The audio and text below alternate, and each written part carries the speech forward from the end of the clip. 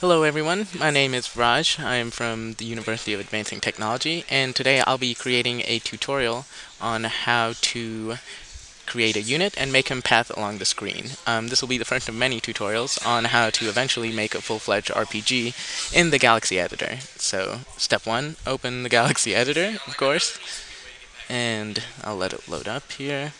Then go to File, New, and we're going to create a new melee map. Uh, choose whichever texture you like, doesn't really matter.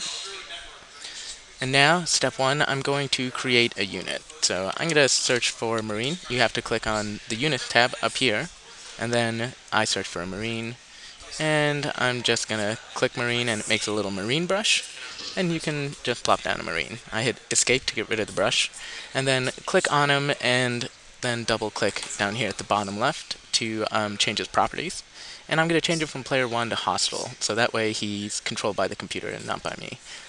And next, what we're going to do is we're going to put a couple paths for him to go, so we'll have uh, some waypoints, so click on points, and then normal points, and then we're going to just give him some points to walk around with. Alright, so here's just a nice little square for him to work around in. Um, the next step is we're going to create a region. So you click on regions, and then whichever brush you want, a square circle. Oh, that is not what we want. We want a big brush. Oh my god, okay, well, let's go ahead and get rid of these regions. And make the correct size. There we go. Alright, so moving on. Now we're going to go, we have everything we need to have him path around, so we're going to go into the trigger editor, which is F6, or modules and triggers. And now we have a bunch of different options we can do. First thing I'm going to do is create an element, call it move marine. And this is what I want to be called every time that he walks into my region 1. So first thing I gotta do is put in an event trigger that says whenever a unit enters or leaves a region. So just double click on events, type in region, and select this. Now, for right now, it says any unit that enters an entire map. We don't want that. We obviously want it for our region that we created. So click entire map, click value, region 1, and then it'll say any unit that enters region 1, which I want to change that to my marine. So that way, only the marine gets commands when he enters region 1. So now we have an event, so what actions do we need? Well, we need him to move around to our different points. So I'm going to say issue an order, and this is going to allow us to create an order that's created whenever he walks into the region. Um, we do not want just an ability, we want him to move to a point, so we're going to change the order by double clicking on it, and going to order targeting point. So this way, he's going to use an ability towards a point. So obviously the triggering unit is going to be our Marine. Our ability command, we can choose out of this big list of things, but I'm just going to choose attack. So we attack moves, like a normal mob would do in any RPG.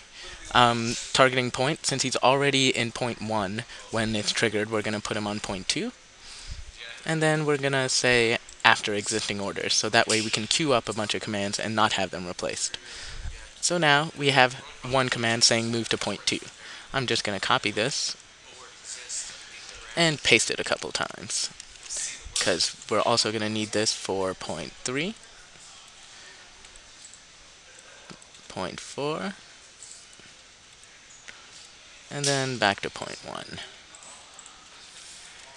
Alright, so now we almost have everything we need. The only thing that we're going to need now is to make sure that we trigger the event the first time. So we're going to have to say on map initialization, he's going to have to move over to this region 1. So we're going to click on this top, and you see melee initialization. The event is map initialization, which is perfect.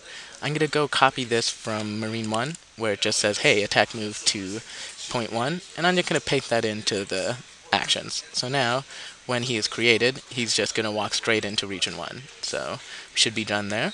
Um, the last thing that I'm going to do after making one more of those region boxes for some reason is I'm going to create a Zergling, actually two Zerglings, so I can actually kill this Marine and also show you what's going on in the map. Um, so data, I'm going to change the Zergling sight radius so that way I can see a little bit better. So Zergling, click on that, and then you go down to stats sight radius, change that from 8 to 32, so that's the max amount of vision that a unit can have. So now it should have everything we need to watch this going. So I'm just going to hit this, and we're going to go ahead and watch.